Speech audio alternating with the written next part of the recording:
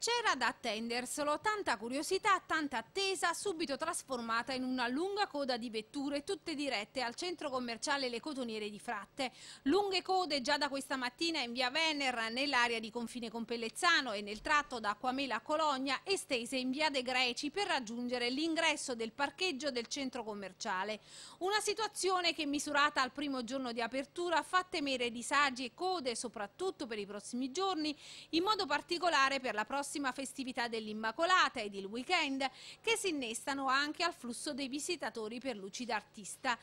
Insomma c'è da attendersi lunghe code e disagi in entrambe le direzioni dove seppur ci sia stato un ampliamento delle carreggiate le auto provenienti da Fratte devono raggiungere la rotatoria ed incanalarsi verso il centro commerciale dove al momento il varco per accedere all'area dei sette piani di parcheggio è unico. Traffico destinato ad estendersi fino a Fratte lungo gli assi di accesso delle autostrade, le rampe di uscita ed ingresso della tangenziale, così come per chi proviene dall'area nord della zona di Baronissi. Già sono comparsi i primi cartelli in zona affissi dai residenti in prossimità di portoni ed ingressi di negozi lungo via dei Greci che invitano a lasciare liberi gli accessi. In tanti quanti infatti anche questa mattina hanno parcheggiato l'auto su marciapiedi e lungo il ciglio della strada di via dei Greci, seppur in divieto di sosta.